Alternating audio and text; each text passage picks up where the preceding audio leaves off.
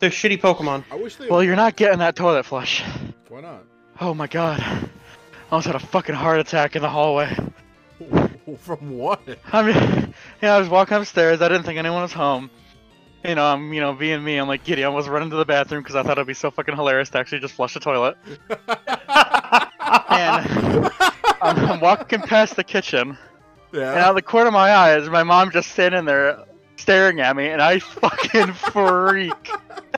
I'm, I'm up against the wall. like, oh my god. I thought your cu- I thought your nephew ran around the corner going, "Sexy baka!" Scared the shit out of you. I clipped No, that, that's Jeremy. just- I just clipped that that's- story. Holy shit! I'm like, I mean, after a few seconds, I just like lean my head back against the wall, like, oh my fucking god. the fact, like, oh yeah, I thought it'd be funny, like, I did like my little prance, like I do.